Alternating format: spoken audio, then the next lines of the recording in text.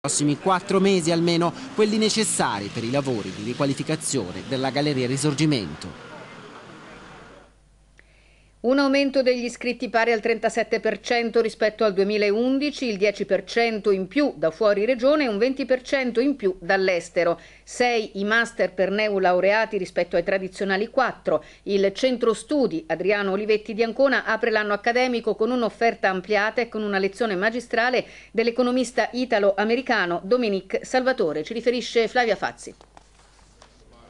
L'Istituto Adriano Olivetti punta anche ad una rosa più ampia di collaborazioni con università straniere come il MIT di Boston o la Northwestern University di Chicago. I problemi non mancano, ha detto Andrea Merloni aprendo il nuovo anno accademico, ma siamo riusciti ad aumentare il nostro budget e a chiudere il bilancio in pareggio. La formazione è uno dei pochi investimenti il cui ritorno è di reale utilità per le imprese, anche e soprattutto in tempi di crisi. Sono aumentati i corsi, abbiamo eh, aumentato aumentato del 50% il numero di master, stiamo aumentando del 30% il numero di studenti.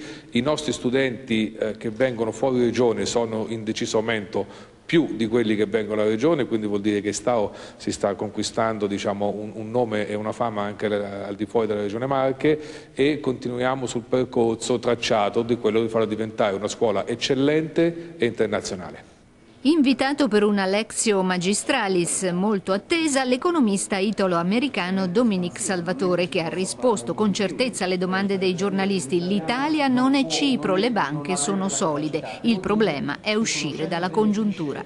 Siamo in recessione e francamente la recessione non si cura aumentando le tasse e riducendo le spese. Queste sono cose, eh, l'austerità dovrebbe venire dopo, adesso bisognava spendere di più e non, non uh, ridurre le spese. È facile dirlo dal di fuori, dice questo ci è stato imposto dai mercati, ma non è vero, perché l'Italia è più virtuosa della Francia. Se ci avessero permesso o noi ci saremmo presi il diritto di spendere fino al 5% del PIL come la Francia, non ci sarebbe stata la recessione. È stata rinviata